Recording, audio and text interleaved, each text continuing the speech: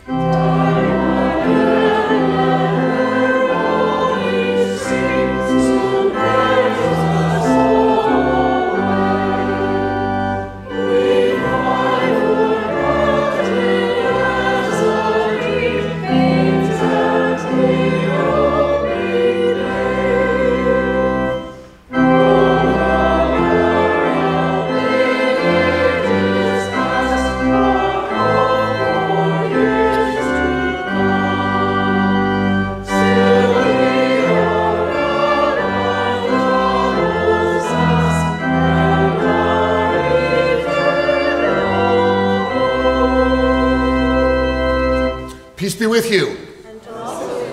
Before you sit down, turn to those around you, or maybe find someone new and introduce yourself and greet them with the peace of Christ.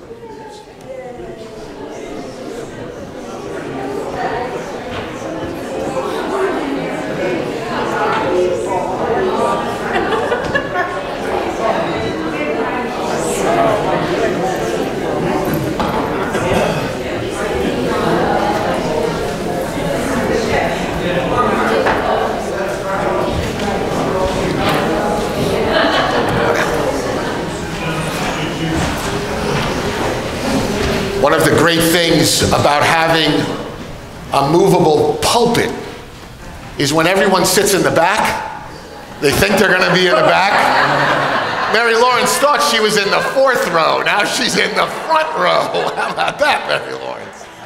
That's what you get. That's what you get. Um, we've had uh, interesting week here, haven't we? It's been a, a rough couple days for us. We've lost a number of uh, folks that we know and love, and those are the ones that have just been a part of our church. My guess with a crowd this size, you may have heard other news. Lost someone. Someone may have gotten a, a, an unwelcome diagnosis. Someone may have uh, received bad news.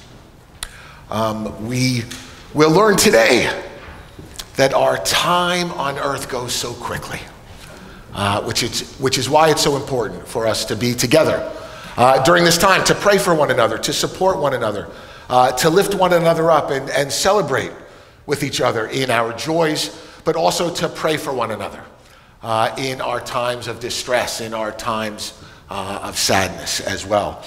So we like to take a few moments to just uh, pass the mic, so to speak, and see if there's anyone that would like to share any news with us, ways that we can support you in prayer, ways, ways that we can celebrate with you uh, if there is good news going on. So I have a mic if you would like to share anything with your family of faith this morning. Great, Mary Lawrence. I just want to say that my flowers are being shared for flowers that were given for Bob that his daughter did. So. Thank you so much. Thank you, Mary Lawrence. My daughter, my daughter's friend Liam, uh, he's 21 years old. He's just been diagnosed with stage four brain cancer. So to please pray for his family and his siblings. Yep.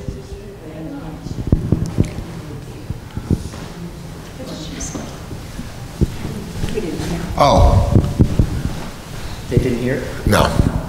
Um, my daughter's friend Liam has been just diagnosed with stage four brain cancer. He's 21 years 21. old. So please pray for him and his family.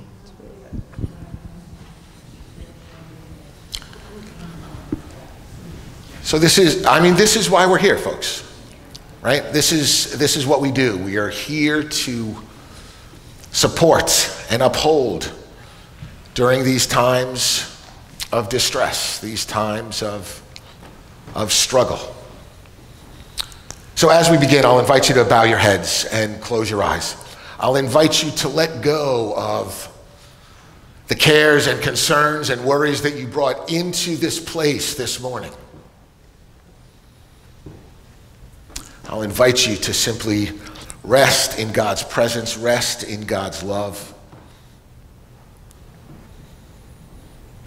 And may those who we pray for this morning know God's peace and God's comfort and God's strength.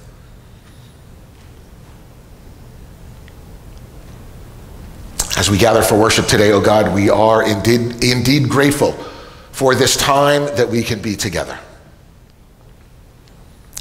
This time to come together as a family of faith and uplift and uphold those who need a special measure of your grace and your touch this day.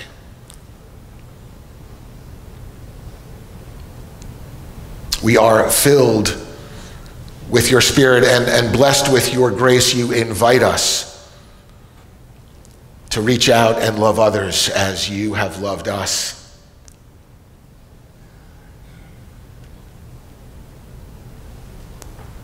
And so we ask this morning for your care and your compassion.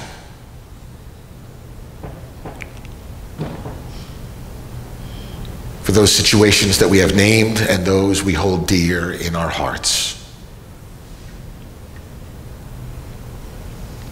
We're also mindful of the pain and the suffering in our wider world as well the sorrow and loneliness that comes from war and hatred and prejudice and violence. May your love working through us help to bring hope and healing to a broken and hurting world. We give you thanks, O oh God, for the lives of those we love but see no longer. May their memory be a blessing to us in the days ahead.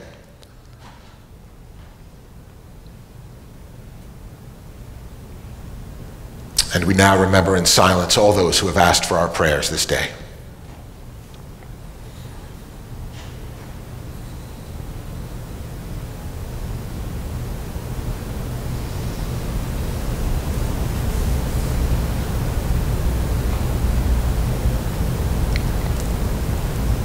And we pray now together with the words Jesus taught us, saying, Our Father, who art in heaven, hallowed be thy name.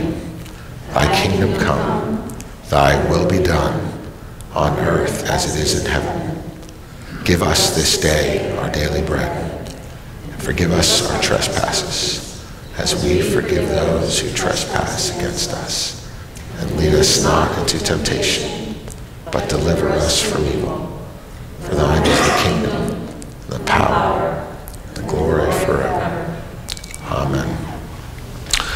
So, we are continuing in our study of the book of James. And even though you're only hearing one verse from the book of James today, you will soon discover that it's part of a bigger tradition, a bigger theme from the wisdom literature in our scriptures. You will hear this theme repeat in the Psalms and Job and Proverbs and First Peter. And it's a simple, simple reminder that life is short. Good morning. The readings from the wisdom tradition of the scriptures. Lord, what are human beings that you care for them, mere mortals that you think of them? They are like a breath, their days are like a fleeting shadow. All people are like grass, and their glory is like the flowers of the field. The grass withers, and the flowers fall. For we are born only yesterday and know nothing, and our days on earth are but a, sh- but a shadow. The life of mortals is like grass, they flourish like a flower of the field. The wind blows over it, and it is gone, and its place remembers it no more. Therefore, do not boast about tomorrow. You do not know what tomorrow will bring or what your life will be, for you are like vapor that appears for a little while and then vanishes.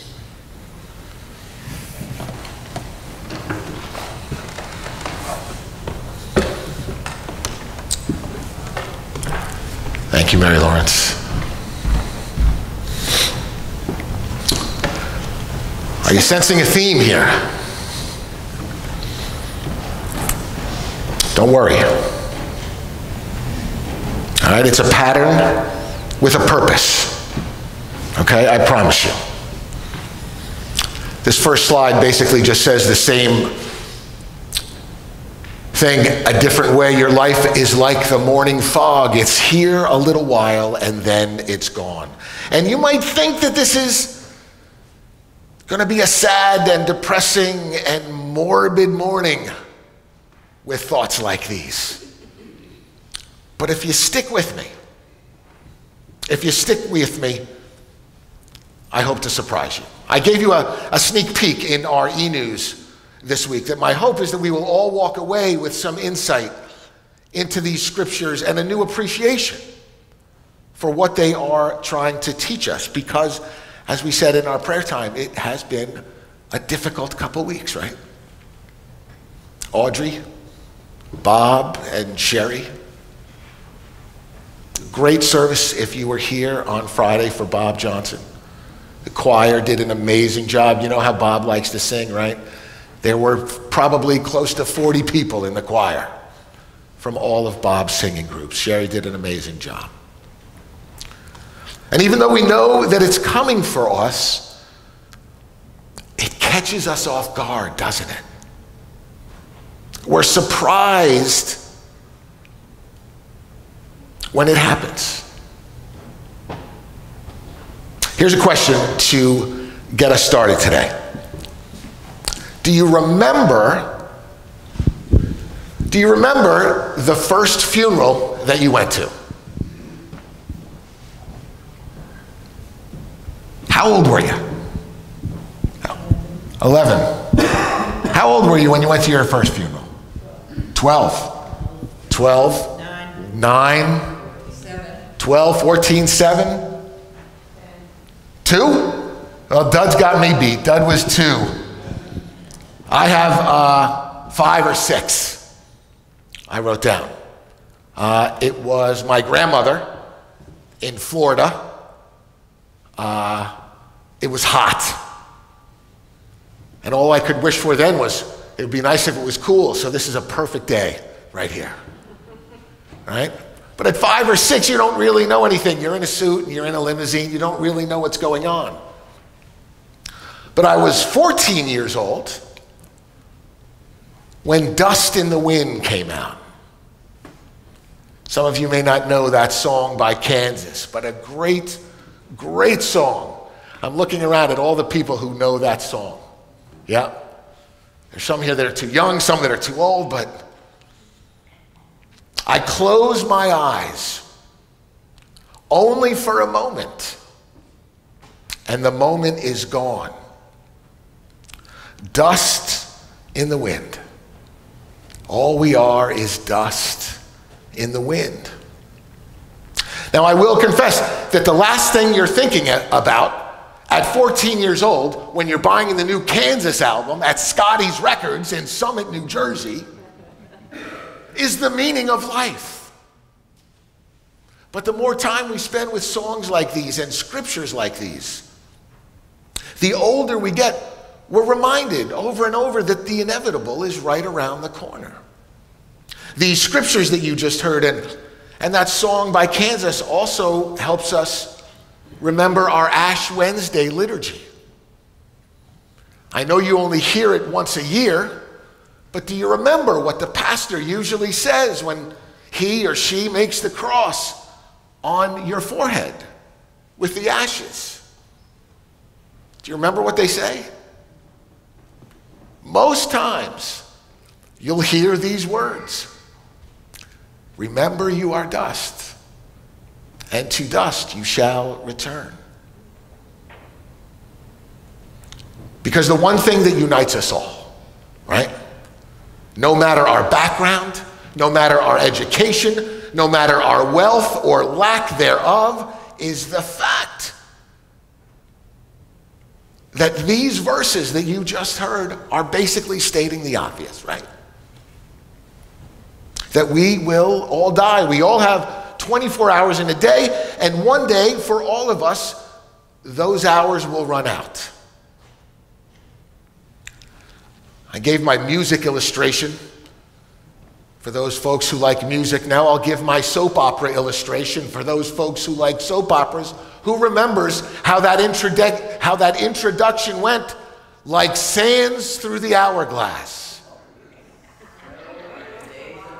so are the days of our lives. Right? Like sands through the hourglass, so are the days of our lives. I don't think these scriptures are trying to be morbid. I don't think they're trying to be sorrowful and, and sadful. I think they serve a higher purpose. I actually think they're an inspiration. to not take life for granted. To live each and every day to the fullest, knowing how valuable our time is. Because it's short. I think that's the lesson that all of these verses are trying to teach us. The verse from James is set in a larger context of the pros and cons of long term planning and it's very similar to a parable that Jesus tells.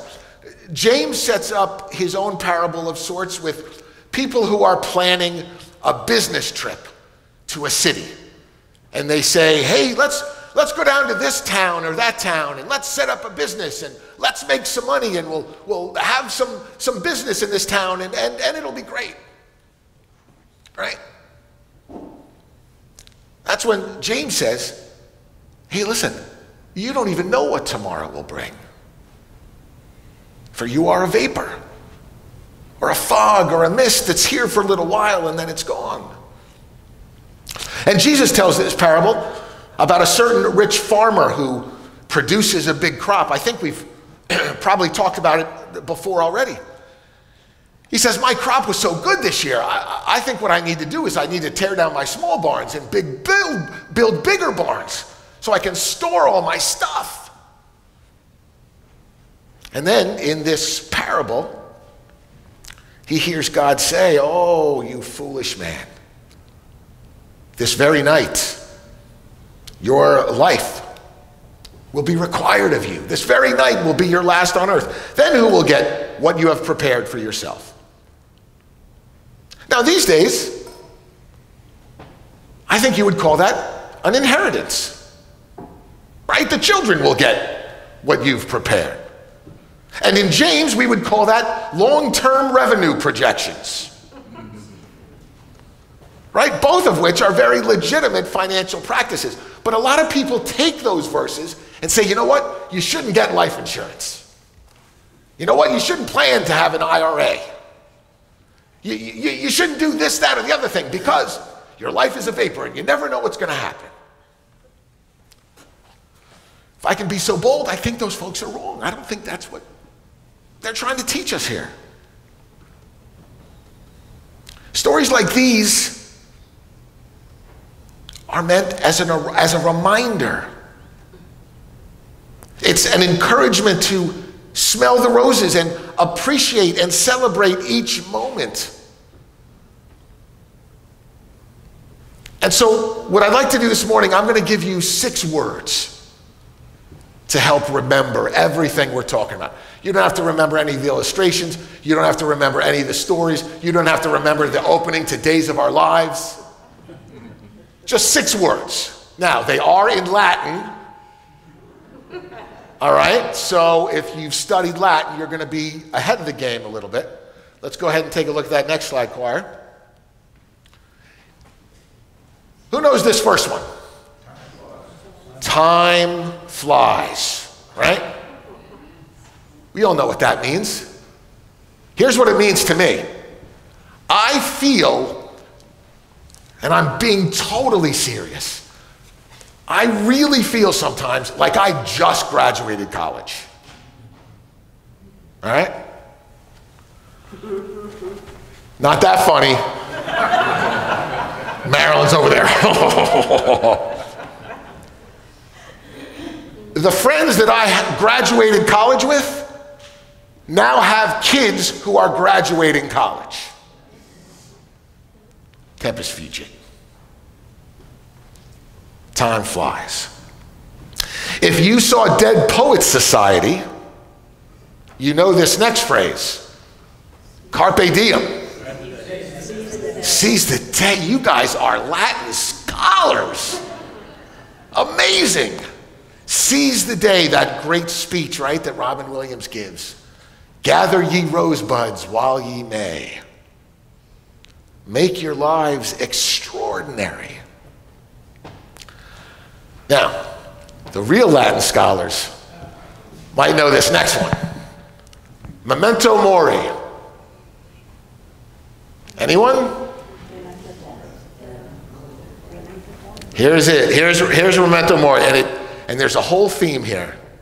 Time flies. Seize the day. Remember, you will die. It's basically the same thing that all of our scripture readings are saying, right? Just a reminder that you will die. And memento mori is a sort of a symbolic figure of speech that can also be a, a, a very valuable spiritual and meditative practice. It's a, a, reminder of our mortality. It's, it's basically that Ash Wednesday service. Remember, you are dust, and to dust you will return. So I got music, I've got uh, soap operas. Who saw True Grit? Need a movie in here today as well. Do you remember True Grit? Did you see the remake of True Grit? If you like the original, go home and watch the uh, uh, watch the remake. I think it was from about 2010. And I only say that because I didn't see the original, right? But in the remake, there's a final scene that is so powerful to me. Mattie Ross, the young girl, right, who you see in the beginning of the movie, is grown up and she goes to see good old Rooster Cogburn's grave, right? There's a scene where she's standing at this tree over a family plot of tombstones. And she simply says, Time just gets away from us. Oh, wow. Right? Time just gets away from us. We avoid these scriptures that remind us that we are dust, vapor, withering flowers, and falling grass because we think they're depressing. We think of death as losing a fight or battle with disease or sickness. But I think what these verses are actually trying to tell us couldn't be further from the truth. They are an encouragement. They are an inspiration to live each day fully, to make the most of each moment, and to enjoy every second of life. It's basically what Susan said about Bob yesterday, wasn't it? That he lived his life with no regrets.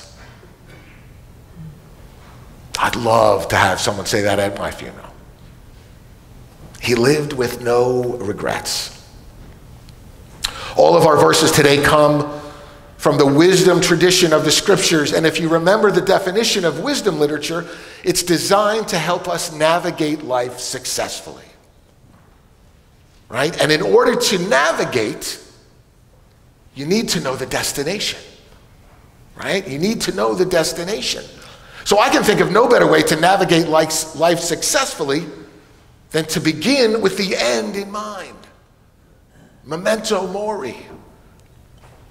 Let all these verses remind you not only of how short life is, but also how valuable life is. And how you can make a difference in someone else's life with something as simple as a hug. Something as simple as a kind word, a few minutes of your time. To listen, to reach out, to live out that great commandment of loving your neighbor. If Latin is a challenge for you, but I don't think it is. You guys all did very well. Here's some English words. You guys can pull up that next slide. Um, this is one of my favorite quotes, and, and it's, it's sort of a benediction of sorts. And I'm, I'm hoping that everyone in the back can read that. This is such a wonderful quote. What I'd like us to do is, I'd like us to all read this together, if you can read that. Can you guys read that in the back? You good? Let's read this together. Life is short. We don't have much time to gladden the hearts of those who walk this way with us. So be swift to love and make haste to be kind.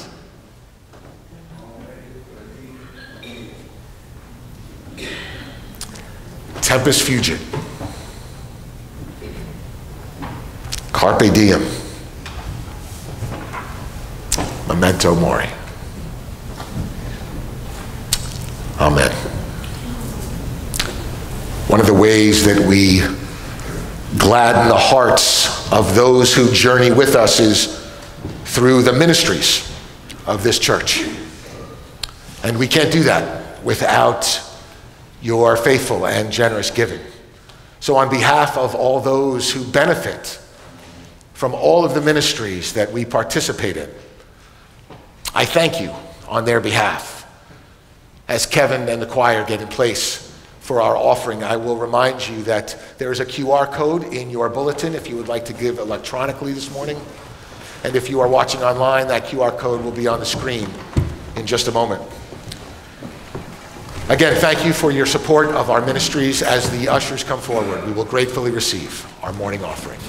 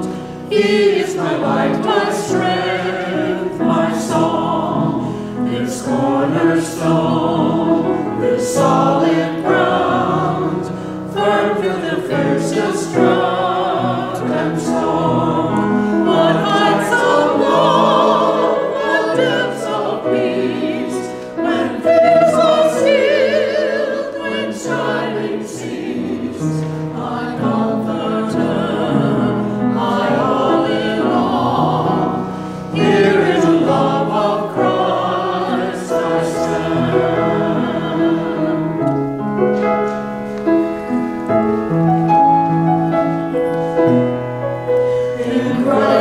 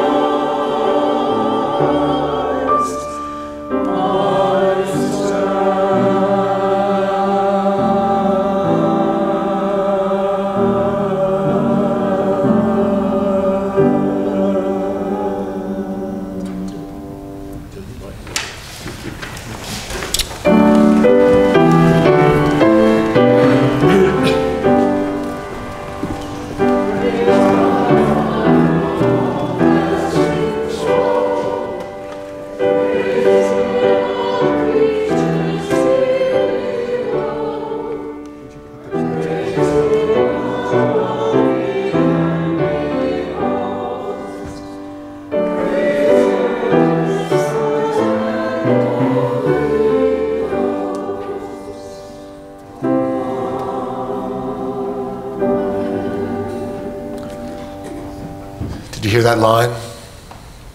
That last verse? No fear in death. Amen. Let's pray. Good and gracious God, we offer these gifts as a sign of our gratitude for the gift of life together. May we continue to celebrate each moment as we share the good news of your love with those around us. Amen. Our closing hymn is sort of a newish one, so I'm going to have Kevin play it through once. And then we're going to sing verses 1, 3, and 4. It's not noted in your bulletin, but we'll sing verses 1, 3, and 4 after Kevin plays through once for us. Thank you, Kevin.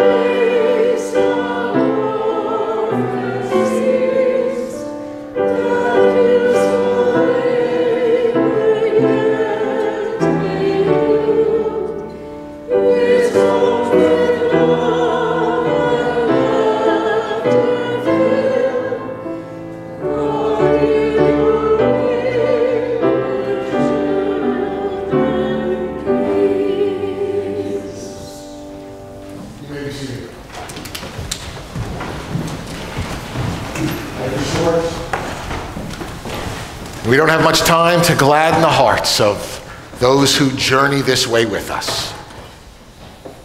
So be swift to love. Make haste to be kind. Because tempus fugit. So carpe diem and memento mori. Go in peace. Amen. Mm-hmm.